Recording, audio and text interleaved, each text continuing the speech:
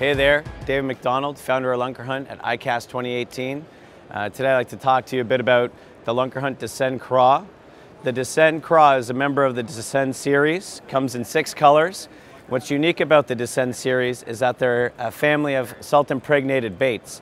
And what, what's cool about them is the salt's being injected in multiple areas of the bait to give it a specific sink rate and a specific action designed for that lure.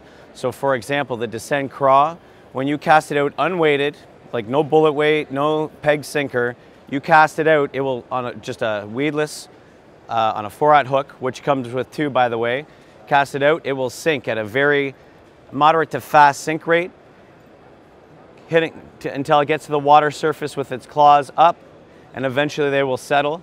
And you can crawl it around, snap it, and it just looks like a crayfish scurrying around, around the bottom. The uh, Lunkerhunt Descend Craw is 4.25 inches long and weighs half ounce, and it, it will be available at Tackle Warehouse this fall.